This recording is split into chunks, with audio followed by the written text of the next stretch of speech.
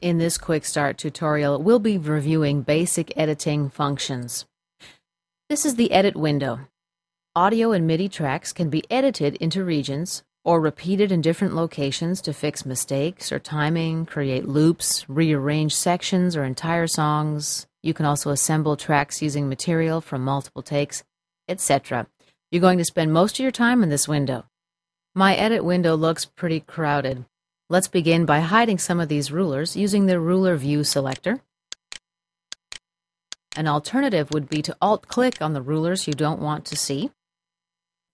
Let's leave up the time-based rulers, bars and beats, minutes and seconds, and samples. I'm trying to get rid of samples, but as you see I can't because it happens to be my active ruler. Let's make another ruler active. Now we're able to get rid of samples. Let's bring back bars and beats. Okay, upper left corner we see our edit modes. Next to the edit modes are zoom tools. Here are some more edit tools.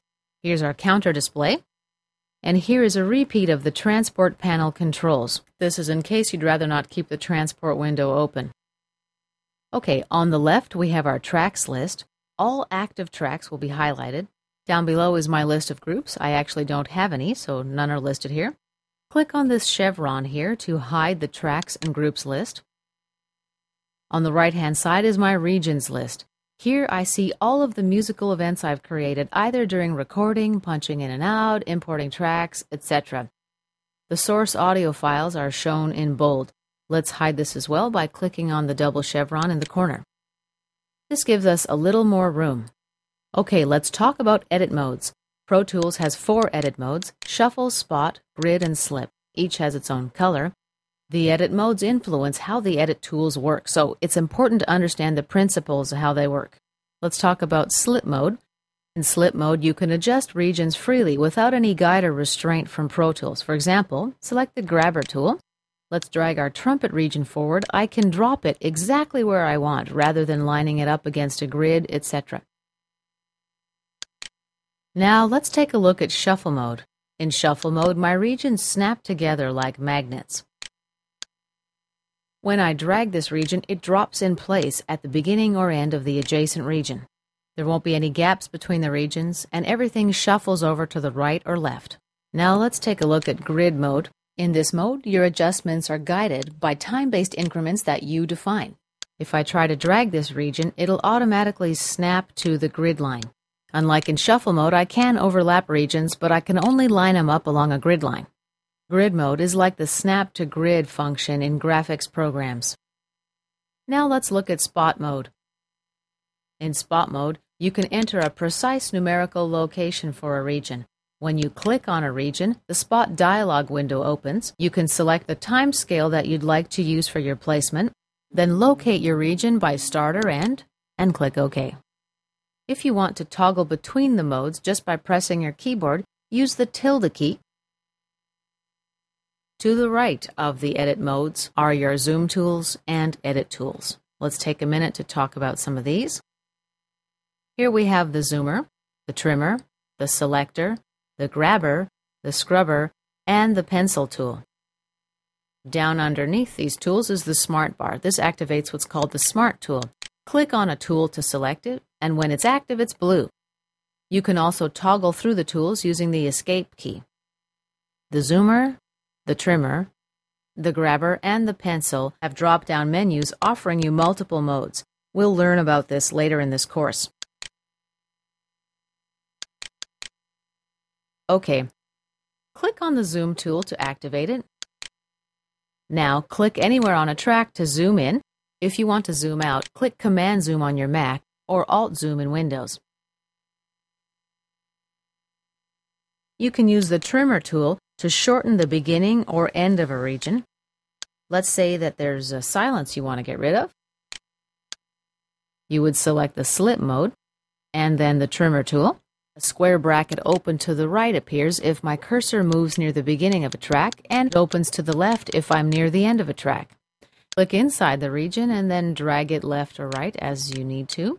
You can also use the trim tool to extend a region, but you can't extend it past the length of the original source audio file. Let's click on the track height selector to change the height.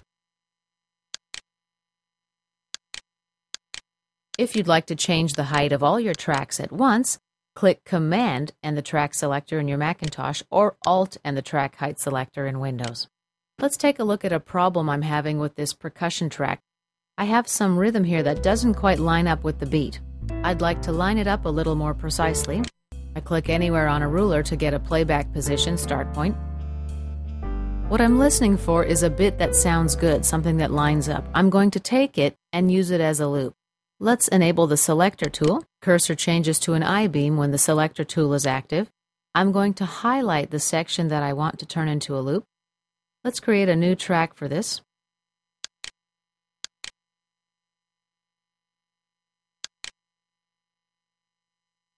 Let's name it appropriately so I don't forget what it is later. Click OK. I've got the separation grabber enabled from the grabber mode drop-down menu and I drag my one bar selection up to the new track, press Alt to copy it, Control Alt to drop it in the exact same place. Now let's get the time grabber back. Let's drag this back to the beginning. Because I'm in slip mode, I'm able to drag and drop wherever I like. Now let's view our time scale in bars and beats. That way we can position it right on the beat. Let's make bars and beats active. Now let's enable grid mode. This will let us position right on the beat. I'm going to drag and drop it right on the second beat.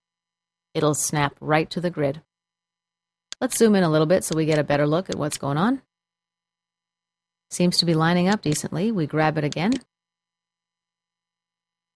Now let's repeat it. Edit. Repeat. Let's choose the number of times we'd like to repeat it. I'm going to repeat it 10 times. Click OK, and then we'll have a listen.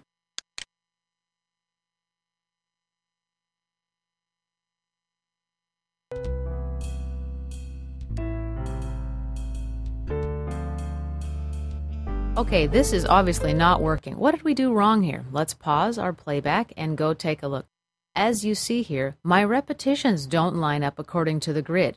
That's because my selection was a little too short. Let me undo my repeat and let me lengthen my section appropriately with the trimmer tool. I need to drag this region out so that it's the full length of the bar. Then when I repeat it, it'll line up exactly to the grid. Activate the trimmer tool. Now let's lengthen this region. I do have source audio file available for this.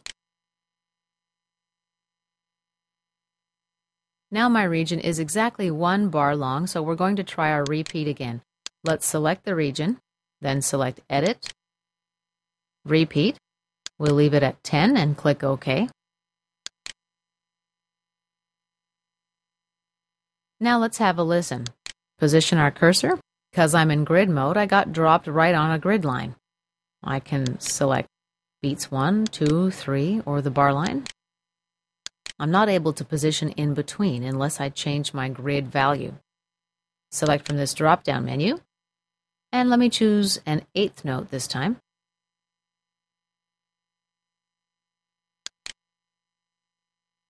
See how my grid has changed to give me more options? Now I can drag and drop, and I'm guided by this smaller grid increment. Let's position and have a listen. Okay, this sounds much better. Let's stop our playback by pressing the stop key or pressing the spacebar. As you can see, we've now created a looped phrase.